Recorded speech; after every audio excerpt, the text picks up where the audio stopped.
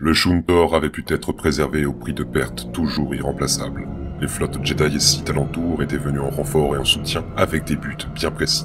Sur Datomir, dominant les sorcières, le Jedi Samos Aran et le Sith Darsashkani se jaugeaient. Au sommet de cette montagne, au-dessus des brumes empoisonnées des arbres noircis par les esprits, les rancors hurlaient en quête d'une proie. Peu leur importaient les cris, les menaces, les sorcières ou les poisons.